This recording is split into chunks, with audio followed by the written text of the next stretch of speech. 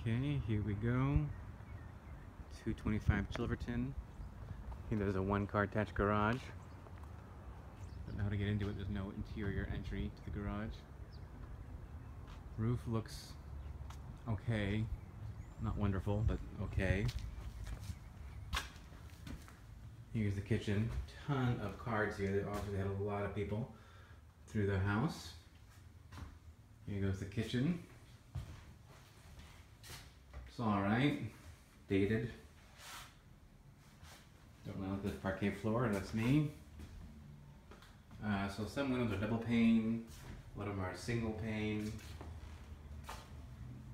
This is the big living room right here. So this essentially is your entertainment space. That and that. You got two bedrooms down here. This is just a coat closet. Here's your heater. Old, old. This is the one bathroom here.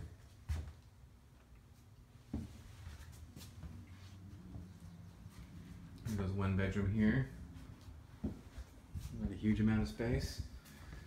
And goes the other bedroom here. Also, not a huge amount of space. So here's, they have a little uh, laundry room or something. I mean, clearly is laundry right there. It's not really a room, three season room perhaps you would say.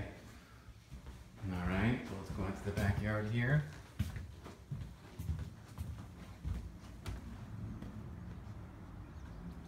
Okay.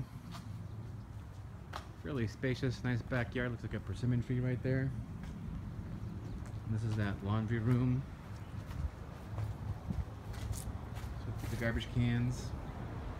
That's the roof up there. So here goes their unit over here. Looks fairly well constructed.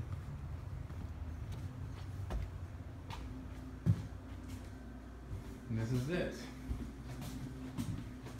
Wall heater. Here's little bathroom.